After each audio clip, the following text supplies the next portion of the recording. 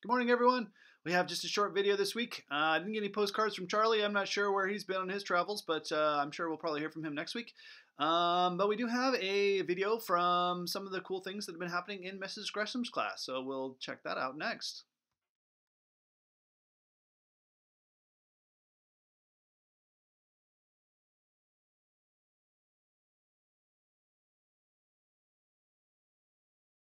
The ladybug life cycle.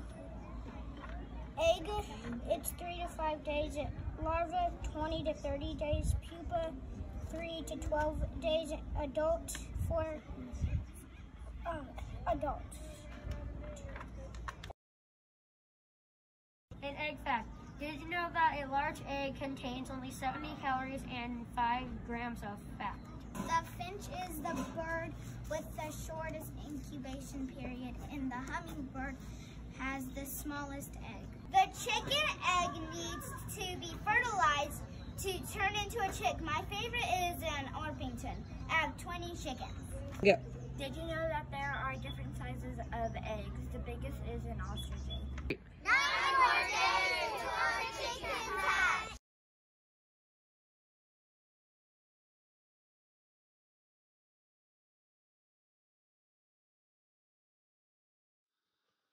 Okay, we've got our parade postcard winners this week. Not as many this week.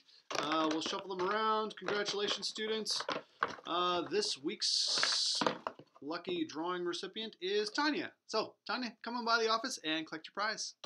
All right, everyone, that's all we have for this week. It is a short video. There's a lot going on around campus. You guys are doing a pretty good job of, of remembering to keep your masks up and remembering to wash your hands or sanitize your hands as you come in and out of buildings. So we appreciate that. We see you.